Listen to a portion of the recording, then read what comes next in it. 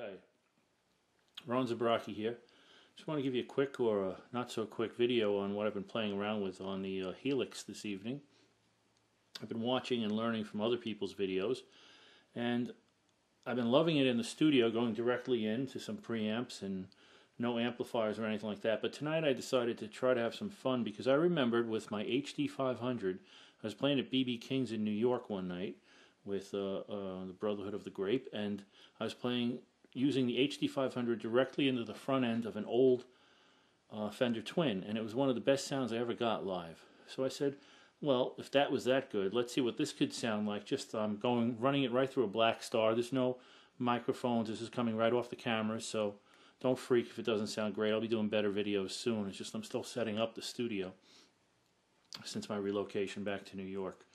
So tonight I said, let me let me just see what I could do with this, and uh, you know, apply a few of the things that I've learned. And um, as anything else, these things will probably sound the best, or definitely sound the best through one of the FR um, uh, cabinets because it, it, it's really made for that, or two of them even better.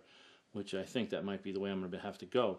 But there's going to be places I might be doing some things like uh, that aren't going to necessarily have the best setups or whatever, and I'm going to have to go through an amplifier maybe it could be a church or it could be I could be playing in a church or I could be playing in a in a community theater or something like that. And I said well let's see if I could I could set this up and apply some of the things I've learned. Um, up, you know instead of bringing my my pedal board which has I really made a heavy investment in it last year. So I have all these really nice pedals by every company possible and uh, you know and it's madness when you got to set that up there's a lot going on. You do the four cable thing, you know, you're going through some through the front, some through the back of the amp.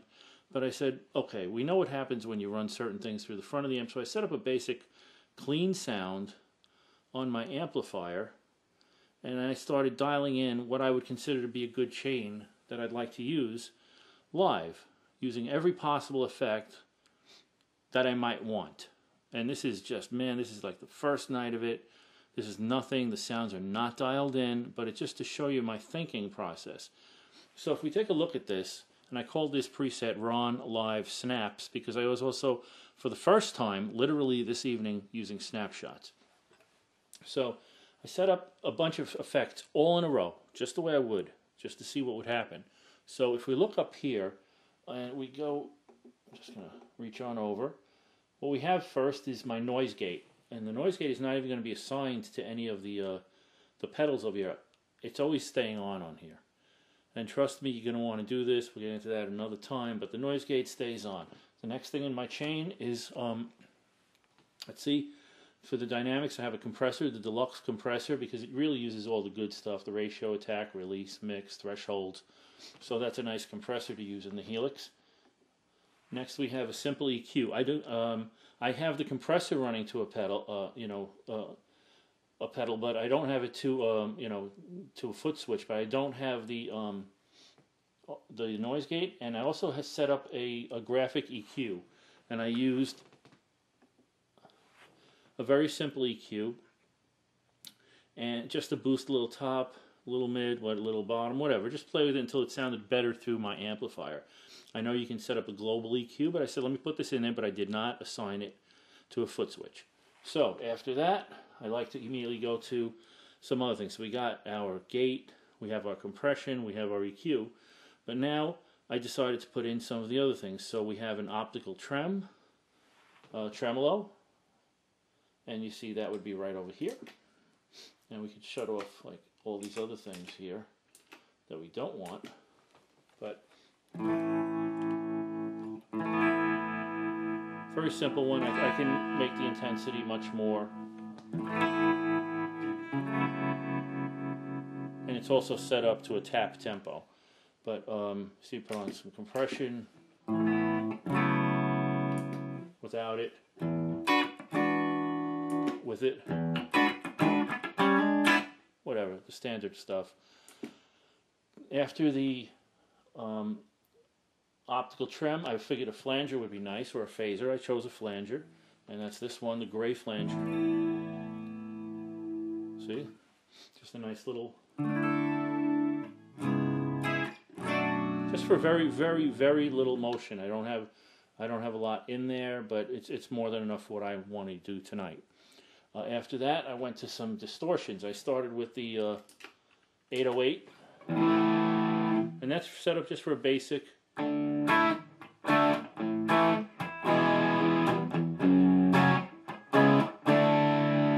Just a basic distortion.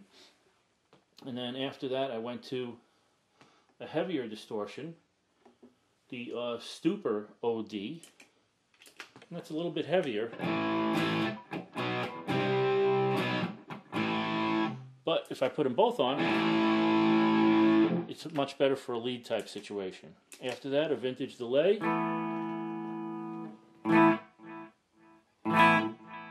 And it's set to the tap tempo. After that, a mod chorus echo.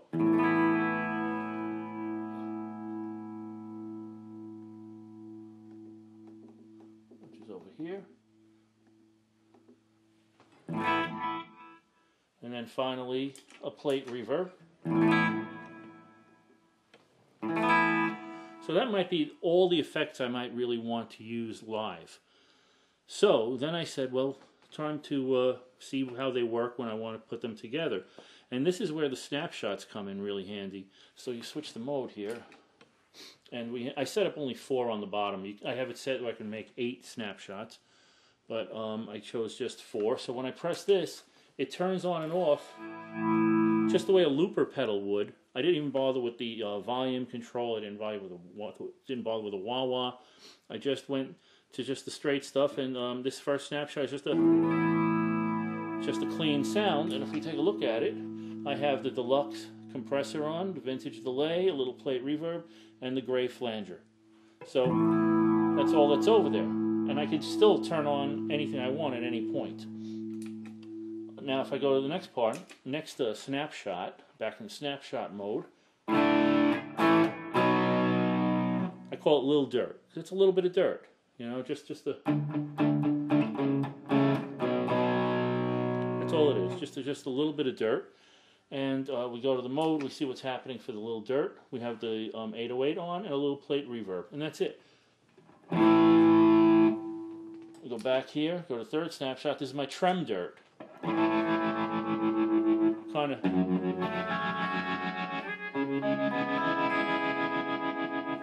when we take a look at what's on over here, we have the optical trem on, the 808, the vintage delay also this time, and the plate reverb. And by the way, at this point I could also mention that any of the parameters for each snapshot can also be changed for each individual effect. So try doing that with pedals, you know, individual effect pedals, and these sound great. I, I will be comparing them, but I, am really happy and satisfied with what I'm, you know, with what I'm hearing here. We go back to the uh, snapshot again, and then we have the lead mode I set up because now we have my cleans, I got my little dirts, I got an affected dirt, and then a lead. And I could continue, I could make four more. But So if we go to the, um, the lead snap, it's completely wrong. So let's see, let's see what happened to me over here. I probably switched it earlier. So if we go to the right, we go over here, we want to turn on the, uh, oh wait, I could just do this. Go back to my preset, back here, Back here, back here. Okay, live snaps. There you go. See if you if you screw something up like I obviously just did, you can just reload the um, the actual preset, the bank, you know, with the, with the entire preset, and they're all back in here. So you see, if I go change the mode, we got the clean one again. We have the little dirt one. We have the trem dirt. It's all new to me right now, so bear with me. I'm not even going to edit this. I made a mistake. It's okay. And then we go to the lead.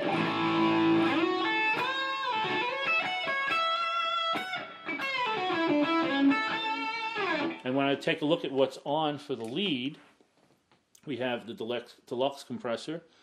Um, that's just adding just a, just a little bit more oomph. It's hitting the effects a little harder. I have both overdrives on the Scream, uh, the Scream 808 and the Stupor OD. By the way, these are totally different than the overdrives I would use when I go directly into my recording setup. Instead of going through an amplifier, I love the Time um, amplifier. You notice also I'm not using any of the amp models over here because I'm going into a Blackstar amplifier, a clean amp right in. no, I want to use the, I want to, you know, I want it to, to sound like my Blackstar. So there you go. I have that, and uh, now I'm using the effects that worked with this to my ear tonight. Not at high volume. It's a little bit late. Whatever. Don't want to wake anybody up. But um, when we turn on the lead once again, we're dealing with a deluxe compressor, two overdrives, one feeding into the other, a vintage delay, and a plate reverb. And it's just not the worst sound.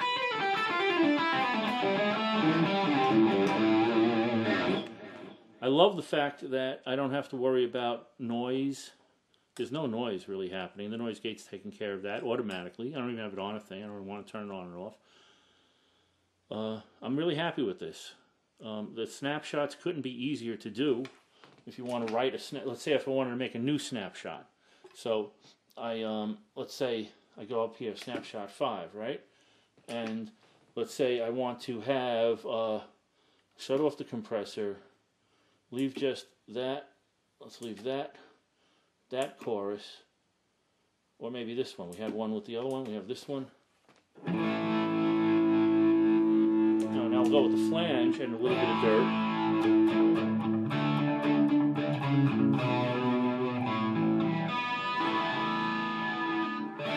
Now let's say I'm happy with something like that. Let's say this is just nothing. I'm not even playing anything, but just to show you. And I was happy with what I'm hearing here. And if I want to save that, I go to the mode, and we're in snapshot 5, and there it is. It's already there, just so you know. But we want to name it something. So we hold down the preset button, rename snapshots right here. And um, at this point, I could just say, okay, I want to call it, uh, let's see, what, what it sound like? Flange, dirt, or dirt flange, dirt nap, whatever. You just go through, change each one of these. Dirt. I'll just go FL.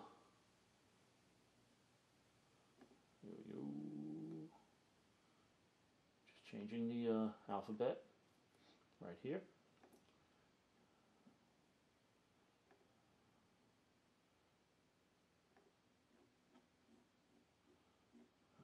Should went the other way, but that's all right. And there it is, dirt flange, and you say, okay. So now, the dirt flange is over here. Lead is over there. Trem dirt here. Little dirt here. Clean here. Go back home. Hit save.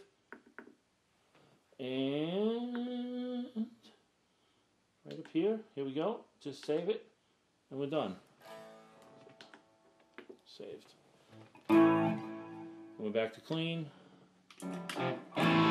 And when you switch these things now, the um, when you're using other other digital modeling things, you know, when you don't use snapshots, if you went to a different, entire different preset, it might cut off. It will definitely cut off your um, echoes.